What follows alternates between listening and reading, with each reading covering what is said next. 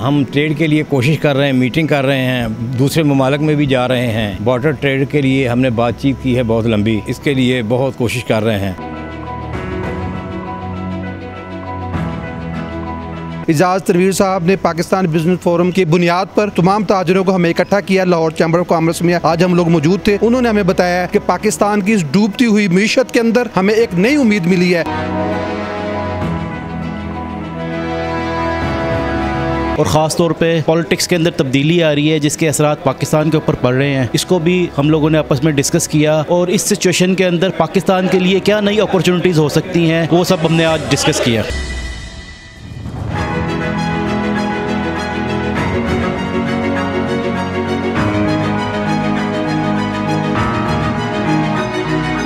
इसमें sir China और पाकिस्तानी अवाम का जो आपस में ताल्लुक है, चाइना के लोग बहुत कदर की निगाह से देखते हैं पाकिस्तान दोस्ती को और बहुत से चाइनीज़ बिजनेसमैन पाकिस्तान में आकर इंडस्ट्री लगाने में दिलचस्पी रखते हैं।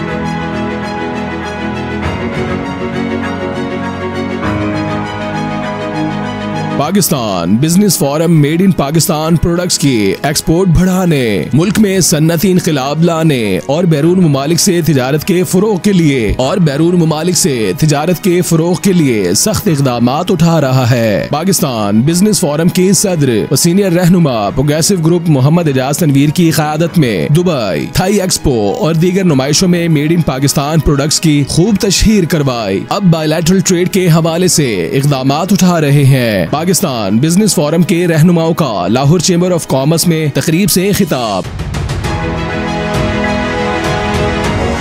हमने किसी सियासतदान की तरफ़ नहीं देखना, हमने किसी गवर्नमेंट की तरफ़ नहीं देखना। हम लोग लाहौर के जितने भी बिजनेसमैन हैं, इंशाल्लाह अब इस बहरान को हम लीड करेंगे और पाकिस्तान को इस बहरान से निकालेंगे।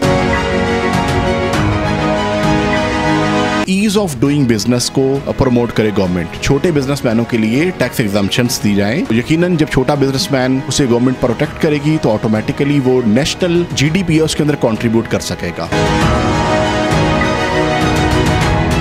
कोविड से पहले बहुत से चाइनीज़ यहाँ पे इंडस्ट्री लगा भी चुके थे, लेकिन हमारी जो पॉलिटिकल अनस्टेबिलिटी की वजह से 2021 और 2022 में बहुत से चाइनीज़ मैन्युफैक्चर यहाँ से बांग्लादेश मूव हुए हैं। हमारी हुकूमत की जो पॉलिसियों का तसलसल ना होने की वजह से।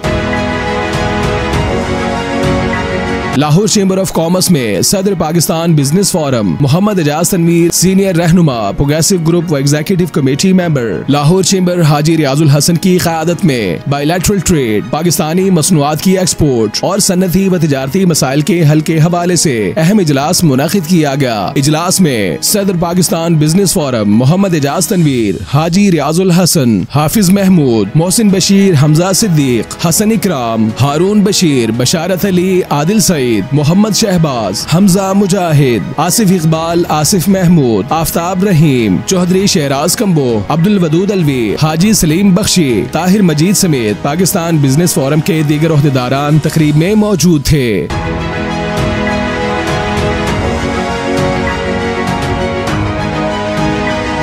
तकरीब के मौके पर पाकिस्तान बिज़नेस फोरम के सदर मोहम्मद एजाज तनवीर का कहना था कि बैरून ममालिक से तजारत को बढ़ाने के लिए सन्नती व तजारती सेक्टर्स को हर किस्म की सहूलियात की फराहमी के लिए सख्त मेहनत कर रहे हैं और दुनिया भर में होने वाली नुमाइशों में पाकिस्तान बिज़नेस फोरम और प्रोग्रेसिव ग्रुप के झंडे तले पाकिस्तान की भरपूर नुमाइंदगी को यकीनी बना रहे हैं। तकरीब के मौके पर मुख्तलिफ़ सेक्टर से ताल्लुक रखने वाले सन्नतकारों और ताजिर रहनुमाओं ने भी खिताब किया।